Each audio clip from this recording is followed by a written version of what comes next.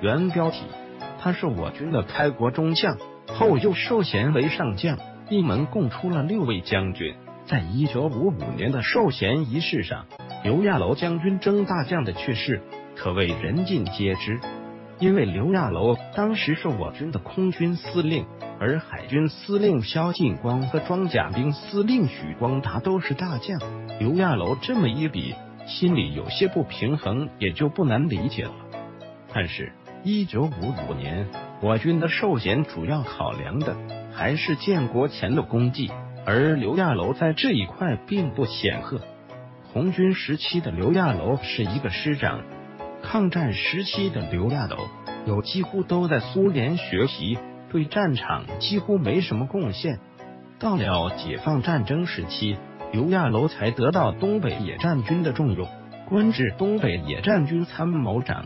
但其实看一看和他同级别的参谋长严奎、李达、张震三人，只有李达一个人是上将，其他两个人都是中将。那刘亚楼受上将也是情理之中了。刘亚楼作为四野的参谋长，可以说是喜忧参半。但另一位参谋长张震中将却是实打实的人生赢家。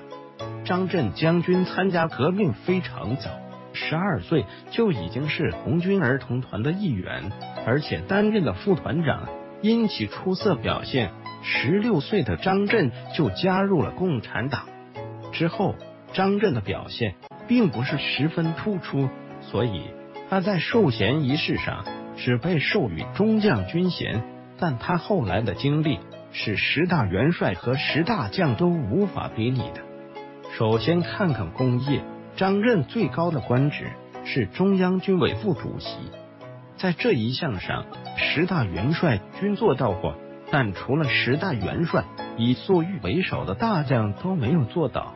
那五十七位上将也也没有这样的幸运，而身为中将的张震做到了，这是非常难得的。不过，张震在担任中央军委副主席时已经是上将军衔，这是一九八八年第二次大授衔时的最高军衔。第二点要看张震的年龄，张震活了一百零一岁，非常长寿。战功是要在战场是用血肉来换的。所以，大多数将领在一生戎马中都留下了各种各样的伤病，因此能活到百岁的将领少之又少。张震就是这样的凤毛麟角。不仅如此，在中将以上的军衔中，张震也是最晚去世的那一位。最后一点，虎父无犬子，张震的后代也都非常出色，甚至创造了一个记录。张震一共有四个儿子，这四个儿子全部子承父业，而且在军队中都立有功绩，每一个人都是将军。其中三子张海洋和父亲一样，也是上将。这是我军第一次出现上将父子之后的张宗逊与张幼霞父子也是如此。另外，张震还有一个女儿，嫁了一位少将丈夫，非常幸福。所以。张震一家人出了六位将军，堪称是最成功的军旅家庭了。返回搜狐，查看更多责任编辑。